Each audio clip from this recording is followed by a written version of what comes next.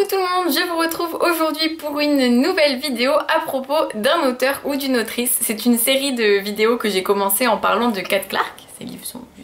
Et vous aviez beaucoup beaucoup aimé donc j'ai voulu euh, refaire euh, ce concept et je vous ai demandé de choisir sur Instagram parce que voilà c'est beaucoup plus simple pour moi de vous poser des questions via ce réseau et du coup euh, que vous puissiez y répondre et les résultats furent sans appel. Vous avez choisi l'auteur dont je vais parler aujourd'hui. J'avais proposé 4 auteurs. J'avais proposé Clémentine Beauvais, Marion Brunet, John Green et Sarah Crossan. Il y a eu 127 voix pour Marion Brunet, 633 pour Clémentine Beauvais, 913 pour John Green et 240 pour Sarah Crossan. Donc clairement, John Green a écrasé tout le monde, il a écrasé toutes les femmes de la sélection, je suis très déçue. Mais bon, ce n'est que partie remise parce que si j'ai proposé ces autrices là, euh, c'est parce que je veux parler d'elles de toute façon. Donc ce sera pour les prochaines vidéos. Là c'était juste une question d'ordre quoi. Je vais donc vous parler de tous les livres de John Green que j'ai lus, Tortue à l'infini, Nos étoiles contraires, Qui es-tu Alaska, La face cachée de Margot, Will and Will et Le théorème des Catherine que je n'ai pas sur moi parce que j'ai dû l'oublier chez mes parents bibliothèque dans le sud, euh, mais euh, que j'ai lu aussi. On commence par le commencement, le premier livre que j'ai lu de John Green, euh, d'ailleurs celui qui fait que John Green a été connu, je pense que vous l'avez presque toutes et tous lu,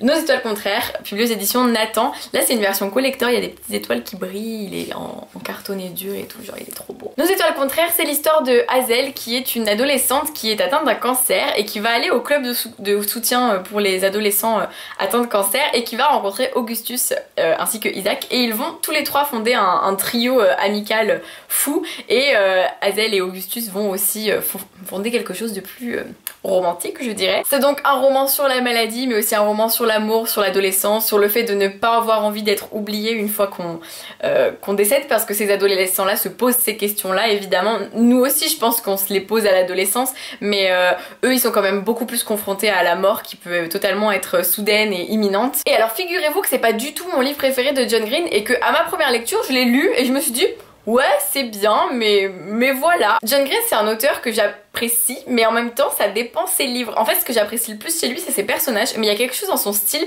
qui fait que parfois euh, je suis pas aussi euh, prise dans l'histoire que euh, pour d'autres auteurs et c'est rigolo parce que c'est très rare qu'un auteur me fasse cet effet là genre j'adore certains de ses livres et il y en a d'autres bof.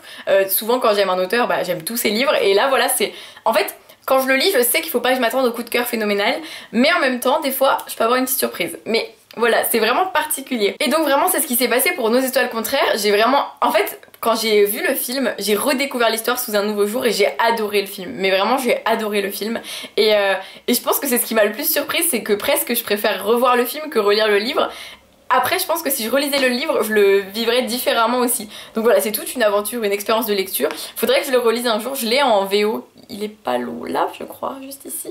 Euh, et donc euh, je l'ai en VO il faudrait que je le lise en VO et pour redécouvrir l'histoire et je pense que je qu'il me plairait à la relecture mais voilà ma première lecture ne fut pas exceptionnelle pas autant que je l'attendais. Puis je crois que le deuxième livre que j'ai lu de lui c'est le théorème des Catherine qui est juste ici. C'est l'histoire de Colin un jeune homme qui 19 euh, fois est tombé amoureux et les 19 fois où il est tombé amoureux la fille femme adolescente en question s'appelait Catherine mais vraiment Catherine avec cette orthographe là et les 19 fois il s'est fait larguer. Et on va suivre sa rencontre avec un nouveau personnage et euh, en fait c'est une c'est clairement une histoire euh, on va dire d'amour mais en même temps euh, une histoire d'amitié, de rencontre et c'est un livre que j'avais adoré. J'ai encore de très bons souvenirs de ce livre alors je l'ai lu il y a très longtemps et vraiment il m'a beaucoup fait rire. J'ai trouvé l'histoire très fraîche, très douce. Les personnages je les ai adorés. vraiment j'ai passé un super bon moment en lisant ce livre et, j'ai vraiment ce souvenir voilà de fraîcheur en le lisant donc c'est tout ce que je pourrais vous dire parce qu'après je l'ai lu il y a trop longtemps pour vous donner plus de détails, mais j'avais adoré. Et ça m'a vraiment réconcilié d'ailleurs avec John Green, et ce qui est étonnant, c'est que c'est pas du tout son, le livre que les gens préfèrent de lui, mais moi j'ai adoré. Donc pour vous dire comment, je pense qu'il il arrive à unir tout le monde dans le sens où bah voilà, tout le monde connaît tout le contraire, mais il, il divise aussi tout le monde parce qu'on a tous des avis très différents sur chacun de ses romans. Mais là vraiment voilà, j'avais passé un très bon moment, euh, j'ai beaucoup ri et je pense que c'est ce qui m'a le plus marqué. Et euh, j'ai trouvé les personnages touchants et l'histoire en elle-même touchante. Et il faudrait que je le relise un jour parce que j'avais vraiment passé un bon moment, faudrait que je redécouvre un petit peu cette histoire. Puis on ouvre le coffret, La raison qui fait que mon petit chat d'amour que ma petite Alaska s'appelle Alaska, c'est pour Qui es-tu Alaska de John Gray. Donc voilà, vous savez tout. On peut tourner la vidéo comme ça. Hein. Et c'est l'histoire de Miles euh, Halter qui euh, a eu l'impression de vivre euh, sa vie mais en fait de la voir passer et jusqu'à sa rencontre avec la sublime, la terrifiante, la super sexy Alaska Young. Et en fait, c'est là que je vous dis que John Green est très fort avec les personnages, c'est que pour moi, tous ces livres sont inoubliables par leurs personnages. Et c'est Alaska qui est juste le centre de ce livre, le centre de cette histoire. J'ai vraiment des souvenirs précis de d'elle, enfin entre gros guillemets, parce que voilà, genre c'est vraiment des, scènes qui se rejouent dans ma tête et je trouve ça fou. C'est vraiment une histoire d'amitié, de rencontre. Miles il va rencontrer plusieurs personnes, dont Alaska, et euh, c'est toute cette c'est toute cette adolescence en fait qui, est écrite et décrite dans ce livre et que j'ai adoré. Et ce personnage que je trouve juste fou, fougueux et, euh, qui fait que ma chère petite Alaska s'appelle Alaska même si elle n'est pas aussi euh, fougueuse et sexy qu'Alaska Young hein, je pense. Quand je l'ai fini j'étais juste en mode je, ne peux pas finir ce livre. Et je pense que c'est vraiment le livre que je dois relire parce que c'est mon plus gros coup de cœur de John Green et que euh, il y a plein de citations. Regardez c'est l'époque où je mettais des post-it dans mes livres. Trop mignon à tout prix que je relise ce livre. Puis j'ai lu La face cachée de Margot, euh, qui fut, euh, donc euh, ceux-là ils sont de chez Gallimard dans la collection Scripto, d'ailleurs je vous le dis parce que ça vient du petit coffret, trop joli, oh, j'adore. Encore une fois, Margot c'est un personnage très très très typique de l'écriture de John Green qui ressemble totalement justement à, ce qu'il écrit habituellement. Euh, et, là on est sur l'histoire de Quentin qui a toujours fantasmé sur cette Margot, justement la fameuse Margot. Et un jour elle va débarquer dans sa chambre comme ça pour euh, l'entraîner dans une expédition où elle veut se venger euh, de plein de gens. Donc en lisant vous saurez pourquoi. Puis soudainement elle disparaît et elle va semer plein d'indices pour que Quentin la retrouve. Enfin est-ce qu'elle veut vraiment être retrouvée? Et c'est cette question-là qui tourne tout au long du livre. Et, euh, ben, c'est vraiment pas mon livre préféré de John Green. Je pense parce que voilà, le personnage de Margot m'a beaucoup moins plu euh, que Alaska, qui pourtant je pense qu'Alaska est un personnage très controversé. Il y a plein de gens qui ne l'aiment pas du tout.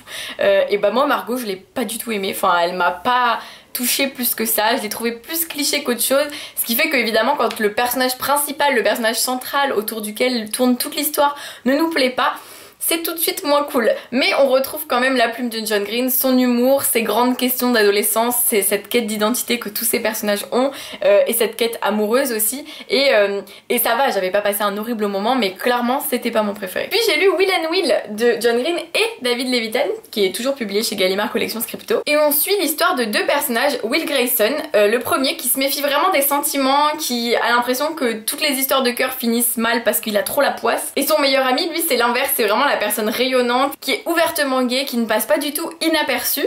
Et c'est vraiment un duo un peu de choc. Et à l'autre bout de la ville, un autre adolescent assume très très mal sa différence et déprime beaucoup. Et le hasard veut que ces deux personnages s'appellent tous les deux Will Grayson. C'est un très beau livre sur l'homosexualité, l'amitié, l'ouverture aux autres. J'avais vraiment été très très touchée par cette histoire.